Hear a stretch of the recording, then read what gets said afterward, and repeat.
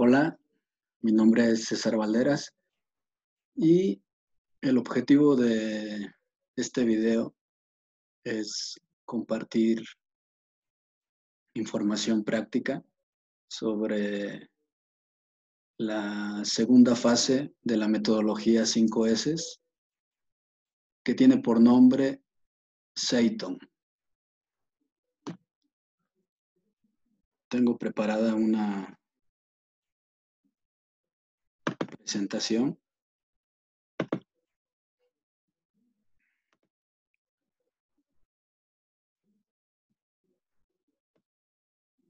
Con esta es la, el tercer video que, que grabo referente a la metodología 5S. Mm, quise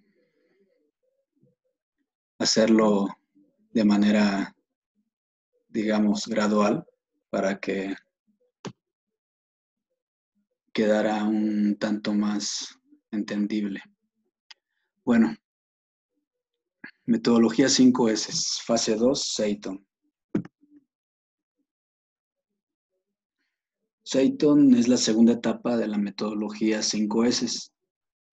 Podemos traducir Seiton mm, como orden. Esta palabra japonesa se refiere a tener un lugar para cada objeto del área de trabajo. Y elaboré un sencillo procedimiento para implementar Seiton que consta de cinco pasos. El primer paso mm, trata de liberar el área de trabajo. Para este procedimiento estamos hablando de un alcance de 3 metros. Entonces es el área de trabajo más, más próxima.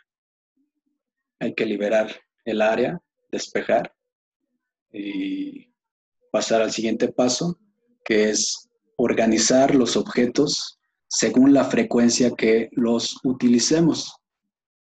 Eh, esto puede ser eh, objetos que utilizamos una vez a la semana, objetos que utilizamos una vez al día y objetos que utilizamos una vez cada hora, por nombrar un, ah, un sistema de, de frecuencia. Entonces, los vamos a organizar en alguna sección y antes de ubicarlos en, en nuestra área de trabajo. El paso 3 nos dice, ubica cerca de ti los objetos más utilizados. Esto quiere decir que a mayor frecuencia de uso, los objetos deben estar más cerca al operador. Eh, entonces, eh, ya los tenemos eh, ordenados según la frecuencia. Es cuestión de asignarles un lugar en, en el espacio próximo eh, que acordamos de tres metros.